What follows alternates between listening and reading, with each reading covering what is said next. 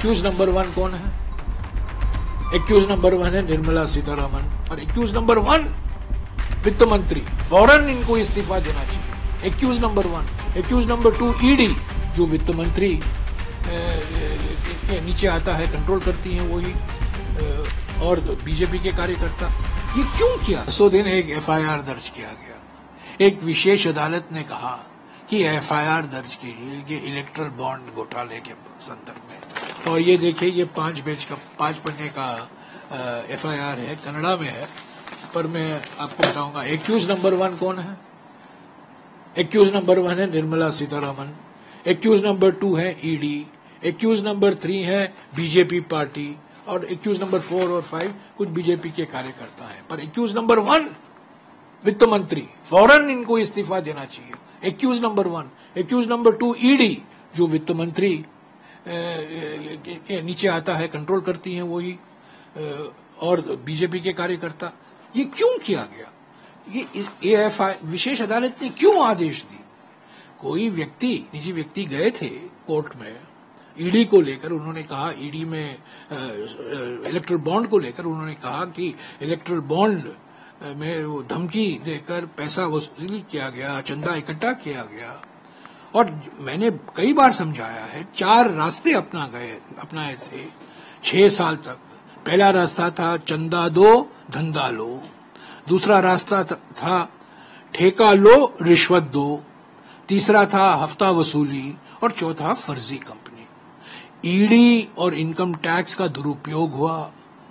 लोग, लोगों के खिलाफ ईडी और इनकम टैक्स छोड़े गए। उन्होंने इलेक्ट्रल बॉन्ड खरीदा। तब ईडी और इनकम टैक्स उसको वो उनको रोक दिया गया। जाँच नहीं करेंगे क्योंकि आपने इलेक्ट्रल बॉन्ड खरीद लिया। और छह हज़ार करोड़ से भी ऊपर चंदा इकट्ठा किया गया पाँच साल में, साढ़े पाँच साल में बीजेपी पार्टी ने। इतना चंदा इकट्ठा किया। और ये कह बीजेपी लोग कहते हैं, आपको भी पैसा मिला। हाँ ठीक है। सभी पार्टियों को मिला। पर सभी पार्टियों के हाथ में ईडी तो नहीं था ना। सभी पार्टियों के हाथ में इनकम टैक्स नहीं था सीबीआई नहीं था। और विशेष अदालत ने क्या कहा है? उसने कहा है कि ईडी क्यों ईडी का नाम एक्यूज नंबर टू है? ईडी क्यों एक्यूज नंबर टू है? क्योंकि ईडी का इस्तेमाल दुरुपयोग किया गया इनकम टैक्स का दुरुपयोग किया गया सीबीआई का दुरुपयोग किया गया। तो धमकी देकर चंदा इकट्ठा किया गया। तो ये एफआईआर है। इस पर अभी जो कार्रवाई करनी चाहिए, वो होगी। जो न्यायपालिका कहती है, उसके आदेश अनुसार होगी, पर ये कांग्रेस पार्टी का एफआईआर नहीं है। ये किसी कांग्रेस पार्टी के कार्यकर्ता का एफआईआर नहीं है।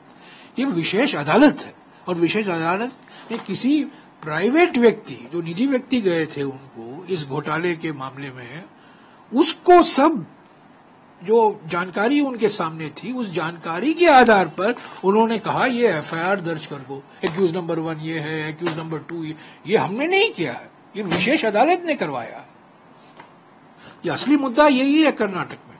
और कल सिंघवी साहब ने और मैंने मांग की थी कि नैतिक तौर से, राजनीति छोड़िए, पर नैतिक तौर से, वित्त मंत्री को इस्तीफा देना चाहिए।